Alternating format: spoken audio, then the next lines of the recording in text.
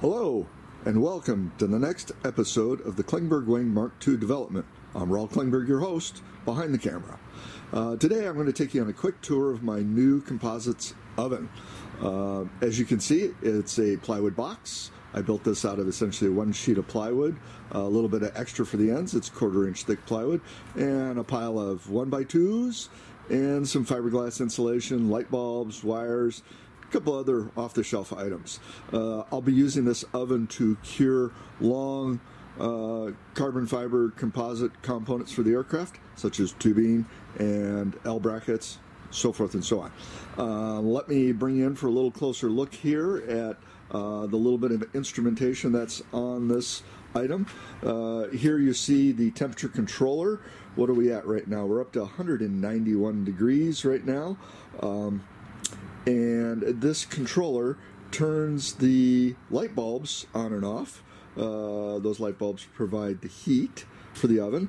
Uh, this is programmable. You can set it to just about any temperature range. I have this one set to 180 to 200 degrees, um, and the controller will keep it in that range.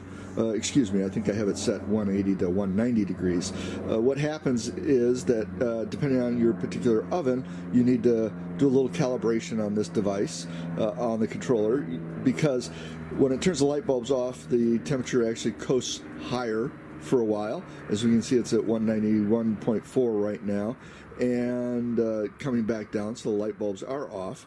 And when it gets back down to 180, it will turn the light bulbs back on. But the temperature will continue to drop. It'll drop back down to about 175. So I need to go back in and reprogram and allocate for the overshoot at the upper end and the overshoot at the lower end so that I can hold an accurate temperature range of 180 to 190. Um, this little controller is available on Amazon. I think I paid oh 32 bucks for it. So it's a pretty good deal. Uh, as you can see, uh, we have power coming in up here, and then there's a uh, I create a little extension cord to come out here where I can plug in the light bulbs and a little electric fan that I have inside circulating the air. Uh, just as a quick note, you'll see uh, I put uh, a couple of handles on the side here. That makes it a lot easier to just grab this thing and pick it up and carry it around. Uh, much, much easier that way. Box isn't too heavy, uh, but it is bulky, and the handles come in, well, handy. The wire that you see running down the side here goes up inside the box.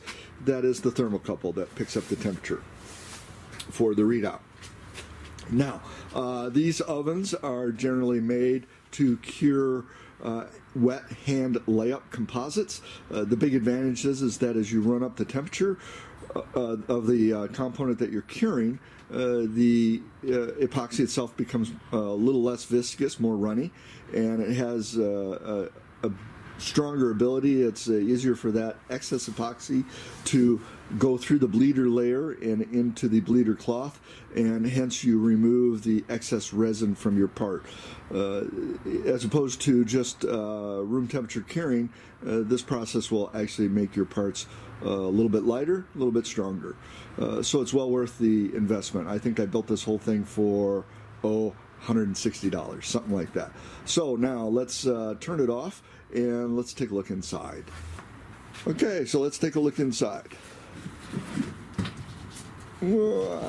there we go. As you can see, it's a box with insulation, nothing too particularly complicated. Uh, what you can see here is I have very heavy duty oven type aluminum foil covering the light bulbs. This is to prevent uh, heat spots on the component that you're curing. Uh, if the light bulbs are exposed, the, the radiant heat uh, will vary drastically going down the oven. You get hot spots on your uh, uh component that you're making, and that can be bad for the cure. Um, so, uh, underneath the aluminum foil, you can see the light bulbs themselves. I have eight uh, 100 watt light bulbs in here.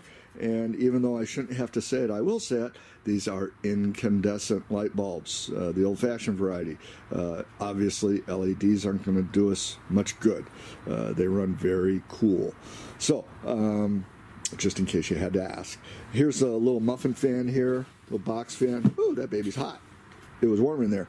Uh, this fan helps push air around inside the box and helps ensure that there's even even heating uh, along the component uh, that you're carrying.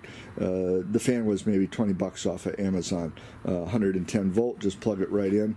When the light bulbs turn off, I have the fan turn off so that uh, we don't cool uh, the oven excessively.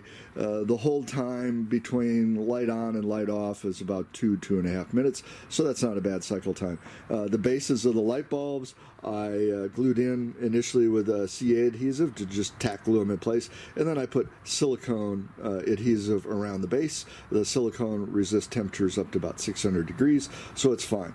Uh, this handy dandy little setup uh, will get up to well over 200 degrees, which is way more than we need to cure our parts. So if you're building anything uh, composite, uh, oven like this can come in handy. Long, skinny one like this for making tubing and L bracket material, or if you're making different shapes, well, just build your oven in a different shape. And uh, I don't have it on here, but you might want to consider uh, putting uh, some weather sealant rubber a temperature resistant weather sealant along the top. Get a better seal on the lid, it'll hold the temperature better. So, uh, build one for yourself and make better composite parts. Thanks for stopping and visiting again today and spread the word. Bye now.